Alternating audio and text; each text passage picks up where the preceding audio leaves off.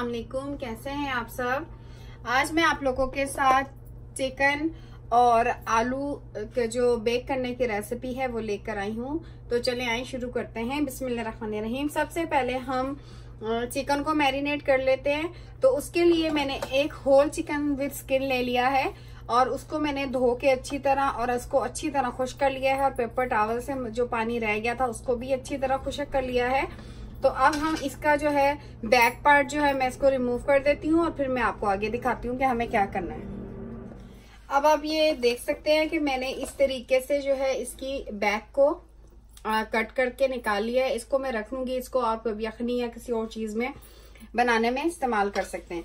तो इसको हम साइड पे रख देते हैं और ये इस तरीके से कट गई है और अंदर से अच्छी तरह साफ़ करके इसको भी मैंने जो है पेपर टावल से अच्छा से ड्राई कर दिया है। और अब हम इसको सीधा कर लेते हैं और हाथ की मदद से जरा इसको थोड़ा सा ऐसे हम प्रेस कर देते हैं। ये देखिए, इस तरीके से हम इसको प्रेस कर दिया अब जो है, हम इसको अच्छा सा यहाँ पे मैंने अब इसको मैरिनेट करने के लिए ले लिया है आधी चम्मच नमक, काली मिर्च और करूरी मिर्चें ले ली हैं। तो सबसे पहले मैं इसको अच्छी तरह जो है चिकन पे लगा देती हूँ।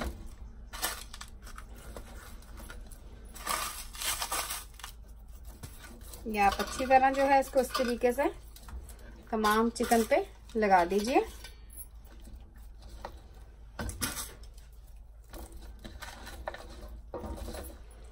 और बैक वाली साइड पे भी हम इसको अच्छा सा लगा देते हैं इसी तरीके से।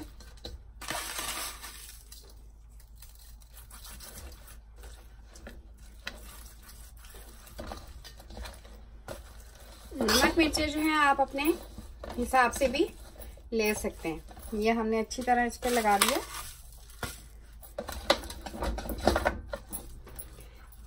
अब यहाँ पे मैंने एक टेबलस्पून ऑलिव ऑयल ले लिया है। और उसमें वन टेबल स्पून जो है मैंने एप्पल साइडर विनेगर ले लिया है। साथ में मैंने आधा चम्मच जो है नमक, आधा चम्मच काली मिर्च, आधा चम्मच करूरी मिर्च का लिया है और चार पाँच जो है लहसुन के जुए लेके उनको कद्दूकश कर लिया है। आप पीस लें या कद्दूकश कर लें या कट कर लें, जैसे आपको पसंद हो, उस तरीके से आप कर लें। तो अब इन तमाम चीज़ों को मैं मिला के और अब मैं स्किन के अंदर चिकन को अच्छी तरह लगा दूँगी। तो हम जो है चिकन की स्किन को खोल लेते हैं। और इसकी स्किन के अंदर जो है, हम अच्छी तरह इसको लगा देते हैं। तो ये हम अच्छी तरह चिकन के तमाम गोश्त में इसको भर देते हैं। इस तरीके से ऐसे करके आप तमाम जगह अच्छी तरह जो है इसको ये देखिए इसको हाथों की मदद से खोल खोल के और इसको अच्छी तरह अंदर जो है इसके भर दें। इस तरीके से। स्किन के अंदर जो है, इसको अच्छी तरह मैरिनेट कर दें। इस साइड भी हम इसको स्किन के अंदर अच्छा सा मैरिनेट कर देते हैं। और इस तरफ़ भी हम इस लेग के अंदर जो है, लगा देते हैं। अच्छी तरह स्किन के अंदर ऑयल भी लगा देते हैं। हमारा जो मिक्सचर है उसको अच्छी तरह जो है, हमने इसको अच्छी तरह लगा दिया और जो हमारा थोड़ा सा रह गया मिक्सर उसको हम बैक पे भी अच्छी तरह से मल देते हैं। किसी तरीके से।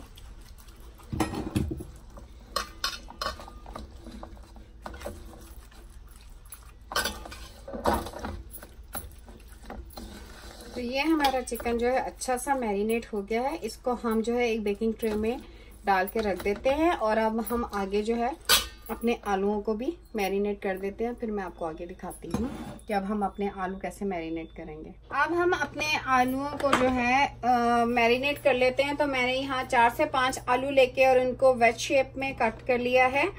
तो आप भी इस तरीके से कट कर लीजिएगा। अगर आपका दिल है तो आप क्यूब में अपनी पसंद की शेप में आप कट कर सकते हैं। तो इनको मैंने खुश कर लिया है अच्छी तरह और इनको इस स्टाइल में मैंने कट कर लिया है।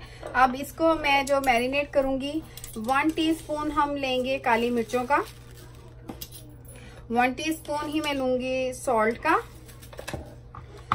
और वन टीस्पून मैं लूँगी क्रश चिली का। और साथ में इसमें शामिल करूँगी डेढ़ टेबल स्पून जितना ऑलिव ऑयल तो ये हम डेढ़ टेबल स्पून जितना ऑलिव ऑयल यूज़ कर लेते हैं। और इसको जो है अच्छा सा हम मिक्स कर लेते हैं कि हमारा तमाम मसाले तमाम आलू पे अच्छी तरीके से लग जाएँ। इसको अच्छा सा मिक्स कर लेते हैं। ये आप देख सकते हैं कि अच्छा सा मिक्स हो गया है। अब हम क्या करेंगे, क्योंकि मैं बना रही हूँ गार्लिक पोटैटोस तो उसके लिए मैंने एक बन जो है पूरा ले लिया है लहसुन का और उसको ऊपर से इस तरीके से कट कर दिया है और उसको मैं अच्छी तरीके से ये ऑलिव ऑयल में ही लगा दूँगी। इसको भी अच्छा सा तेल लगा देंगे हम इस तरीके से। और अच्छा सा तेल लगाने के बाद मैं इसको अल्मोनियम फॉइल लेके और उसमें इस तरीके से हम इसको बंद कर देंगे।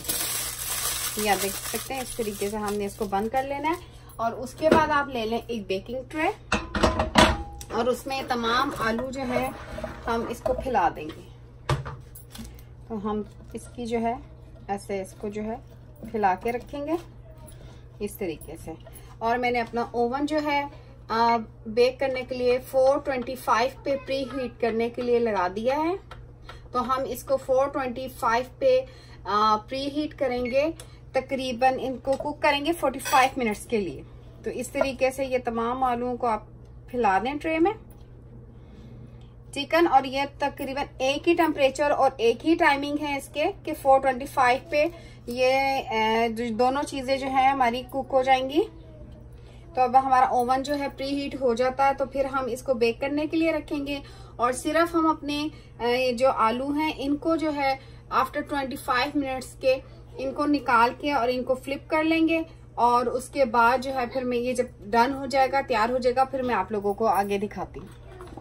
अब आप देख सकते हैं कि हमारे आलू भी बेक हो चुके हैं और हमारा चिकन भी अच्छी तरह बेक हो चुका है। तो अब हम बड़ी एहतियात से इसमें से जो है लहसुन को निकाल लूँगी और उसके जो है जुए हम एक बाउल में निकाल लेते हैं और उसको मैश कर लेते हैं और तीन टेबल स्पून जो है मैं मक्खन के ले रही हूँ, उसको गर्म कर लेते हैं और साथ में ले रही हूँ वन टेबल स्पून पार्सले मेरे पास जो है पार्सले ड्राई है। अगर आपके पास फ्रेश हो तो आप फ्रेश यूज़ कर लें। तो मैं आपको आगे दिखाती हूँ कि हमें अपने पटाटो को जो है इन आलुओं को कैसे मक्खन और गार्लिक से कोटेड करना है। तो मैं अब आपको आगे दिखाती हूँ। अब आप देख सकते हैं कि मैंने लहसन के जुओं को प्रेस करके निकाल लिया था और इस तरह मैंने इनको मैश कर लिया है। अब मैंने यहाँ पे जो है तकरीबन तीन टेबल स्पून के करीब जो है मैंने ले लिया है बटर। और अब हम इस बटर को जरा मेल्ट कर लेते हैं और फिर मैं आपको आगे दिखाती हूँ। ये आप देख सकते हैं कि बटर हमारा जो है, ये मेल्ट हो गया है। इसमें जो है, ये मैं तमाम गार्लिक जो था, इसको शामिल कर देती हूँ।